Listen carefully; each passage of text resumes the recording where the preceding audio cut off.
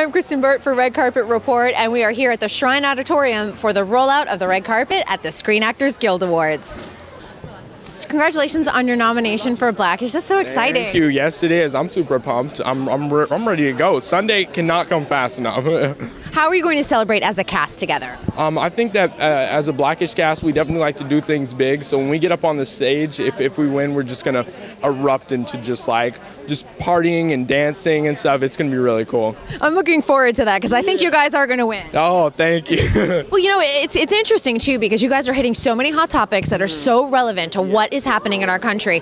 What are you hearing from the fans? Um, definitely exactly what you're saying. We're hitting we're hitting topics that people are talking about. People people say that Blackish has, has made it easier for them to talk to their children about important topics because I think we definitely make things digestible and, and we make sure to give you the facts, but we don't like force opinions on people. So we let everybody come to their own conclusion, show both sides of the coin, and and and uh, we just let it let the let the chips fall where they may. So it's it's it's it's a really interesting interesting thing that we're doing. But we also keep the comedy in there, which is exciting and a lot of fun.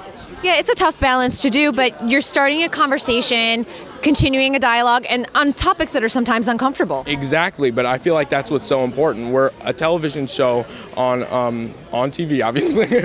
What? yeah, a television show on TV. What? Get out! Yeah, um, but we're, we're we're on ABC, uh, which is like a pretty major network, and we're able to tell these very risky stories, but then and also keep them authentic and not like water them down. So uh, it's it's really cool uh, getting to tell the stories. I think that's so important what you're doing.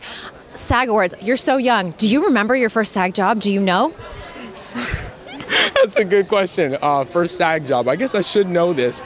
I oh my first like one of my first big roles. I guest starred on an episode of Castle, which was super cool for me. I got to meet Nathan Fillion and just everybody over at Castle, and I was super excited. And I finally got to get my SAG card, and I was like, I got a SAG card. So it was it was really exciting. Say, I'm a SAG actor. Yeah, I'm a SAG actor. Let's go. Well, have a great time on Sunday. We are rooting for you. Congratulations. Thank you very much. All right, bye. Thanks for watching. Be sure to subscribe to our channel, like this video, and in the comments below, let us know who you want to win at the 23rd Annual Screen Actors Guild Awards.